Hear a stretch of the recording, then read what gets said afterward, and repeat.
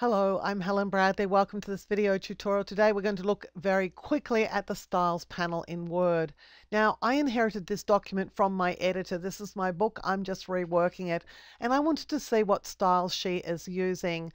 The styles gallery here isn't really helping me because it's just showing me a subset of the styles. If I want to see what's actually in use in this document, I'm going to click here because clicking this is going to bring up the styles task pane. Now, if you want the keyboard shortcut, it's Control Alt Shift and then the letter S. So it's all of your keys, Control Alt and Shift and S for styles. Very, very easy to turn it on and off.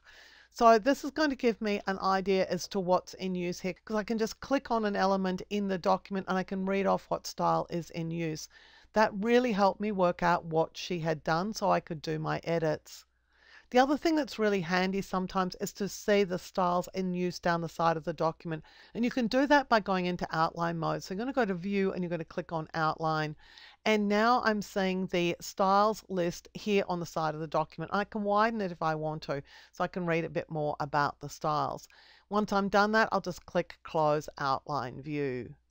Now you can configure that through the options. So you'll go to File and then Options and then go to Advanced. Then you'll scroll down to the display area down here. And what you're looking for is the style area pane width in draft and outline views. And you can just set it to whatever value you like.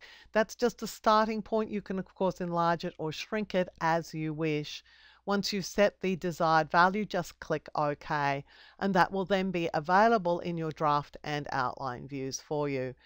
I hope that that's helped you get a bit of a grip on styles here in Microsoft Word.